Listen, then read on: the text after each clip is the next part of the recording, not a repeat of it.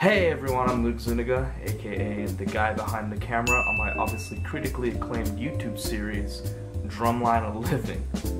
Now, odds are if you've gone up in the ranks of rudimental percussion, you know what this thing is. But in case you haven't, there are two ways to name it, a nonuplet or a ninelet. Now, a ninelet can be written across one beat, two beats, or four beats, but not three beats. Across one beat, you just have to feel putting nine notes into a quarter note space, assuming that you're in 4-4. Well, actually, it doesn't really matter in any time signature.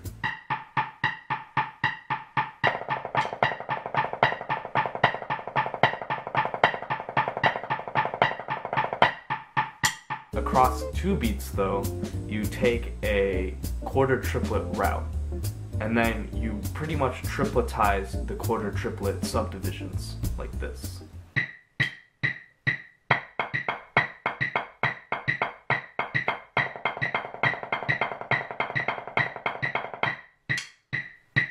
Now, across four beats, it's a little tricky, I'm not sure if I can do it yet, but you take a three against four polyrhythm, and you tripletize that. That goes something like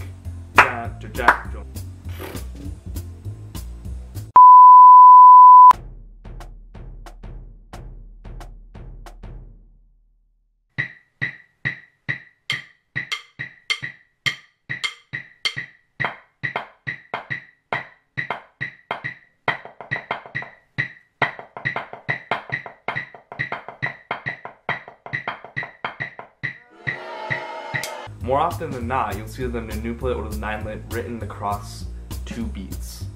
And the reason why you use a quarter triplet subdivision underneath is because 3 times 3 equals 9 and you're essentially just tripletizing each of those quarter triplet subdivisions. And you can't really do this with any other tuplets.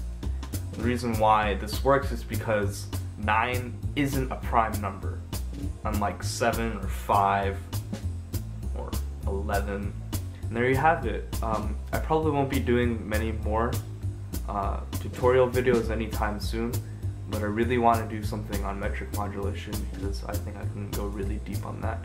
And it's a valuable tool to know when you're composing or, you know, just reading sheet music and understanding how one tempo jumps to the, next.